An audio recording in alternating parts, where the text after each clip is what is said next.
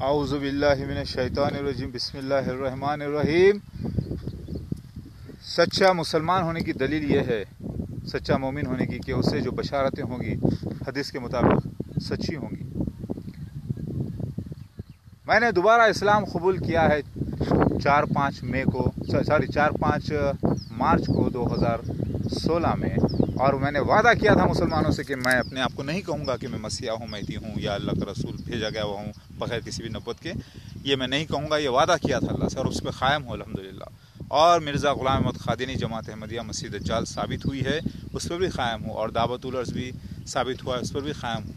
जब ये दो साबित हो गए, क्लॉक टावर बन गया, पंद्रह सौ साल मोहम्मद मुस्तफ़ा वसल्लम की पेश पैदाइश के मुकमिल होने को आ रहे हैं, यानी चौदह सौ पैंतालीस साल गुजर चुके हैं तो फिर आलिमों को, मुफ्तियों को बताना चाहिए कि ईसा मसीह महदी सलाम किधर है। मैंने कुरान से साबित किया है, हदीस से साबित किया है कि ईसा मसीह महदी सलाम एक ही शख्सियत है।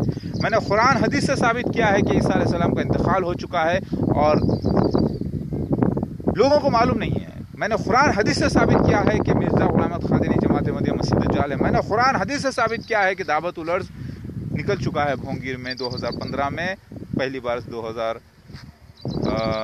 2015 में 7 जुलाई को चाश के वक्त, फिर उसके बाद 15 सितंबर से लेकर सात सात अक्टूबर 2015 में कंटिन्यूसली हुआ है वाक़ और फिर सुनामी हिंदुस्तान में आना, जैसा कि अरब जजीरे की तरह हिंदुस्तान भी, और फिर जापान में आना, और फिर हैती में आना, ये तीनों वाक़ हो चुके हैं, अल्हम्दुलिल्लाह। अल्लाह का फजल है, परवरदिगार का। ये वाक़ हुआ चुका है। क़्यामत के खुरबन की निशानियाँ कुबरा पूरी हो चुकी हैं। लिहाजा आलिम मुफ्ती बताओ, ईसा मसीह महदी सलाम कहाँ हैं, जिनके साथ वो सारे सीन्स हुए हैं? जैसा कि उनका पीठ पे मार पीठ पे मारना, उनको सर पे मारना, सर फोड़ा जाना, उनको जो है कैद करना, मस्जिद जाल के ज़रिए, यानी दुनिया की दोजख कहते हैं, जेल है तो दोजख में डाला जाना उनका मस्जिद जाल के ज़रिए। और फिर वो शख्स, मस्जिद जाल जहाँ पर प्रेजेंट रहेगा, वहीं पर ईसा मसीह महदी सलाम का आना। वो वाक़ कहाँ हुआ बताओ? जबकि सारे निशानात हिंदुस्तान में बता रहे हैं। कुरान, हदीस से मोहम्मद मुस्तफ़ा वसल्लम ने पहले तो इसराइल के यानी दमास्कस के बारे में बताया, फिर बाद में रिप्लेस कर दिया उसको हिंदुस्तान से। मशरक़ मशरक़ मशरक़ तीन बार कहा है।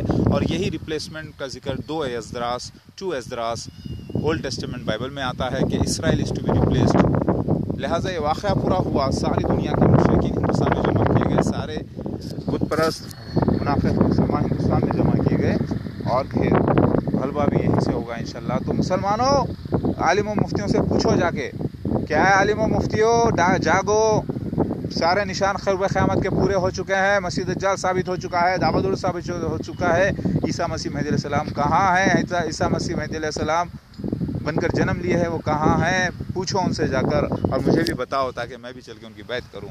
ला इल्लल्लाह मोहम्मद रसूलुल्लाह। याद रखो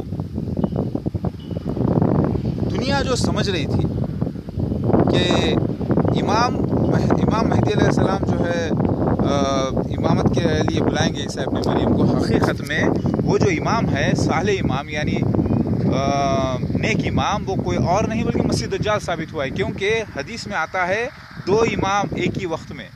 एक है ईसा इबन मरियम, जो दो आदमियों से टेक लगाकर, और एक है मस्जिद दज्जाल, जो एक आदमी से टेक लगाकर रहेगा। तो वो भी तो इमाम हुआ, मस्जिद दज्जाल भी।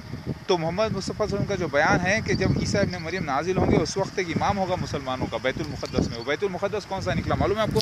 पंजाब खादियान, मस्जिद अक्सा। क्योंकि वो बैतुलमुक़दस को अल्लाह ताला ने तब्दील कर दिया है और वो यहाँ पर मिर्ज़ा ग़ुलामत खादिनी, जमात अहमदिया का मस्जिद जाल मिर्ज़ा ताहिर अहमद है। हंड्रेड परसेंट साबित हो चुका है और वो मस्जिद जाल, क्योंकि नेक शख्स तो काफिरों में भी होते हैं, फ़िरौन में भी थे, उसी तरीके से इसमें भी नेक शख्स है, लेकिन उनकी नेकियों को बर्बाद कर दिया जाता है, उनका सिला को दुनिया में दे दिया जाता है।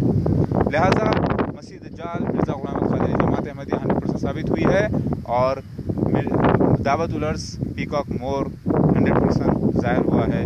लेकिन इसका मतलब ये नहीं कि सब पीकॉक यहाँ पर भी बहुत सारे पीकॉक हैं, लेकिन किसी ने भी कोई आवाज़ नहीं की। हम लोग कई बार आजमाए, अल्लाह अकबर कहकर किसी ने कोई आवाज़ नहीं की तो सामने से आठ आठ, नौ नौ पीकॉक जाते थे, लेकिन किसी ने आवाज़ नहीं की। लिहाजा दावत उलर्स निकल चुका है अल्लाह की कसम। अल्लाह के वादे सच्चे, अल्लाह सच्चा, अल्लाह के अम्बिया सच्चे, कुरान सच्चा। ला मोहम्मद रसूलुल्लाह।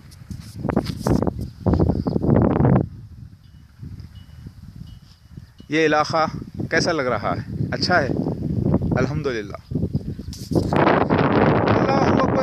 इबादतें पूरी चालू हैं। अपनी ज़बान को कंट्रोल कीजिए, अपनी शर्म गाँव की हिफाजत कीजिए। हराम काम से रुकिए अल्लाह की कसम है, अल्लाह का फजल है मालिक का, कि अल्लाह ताला सच्चा है।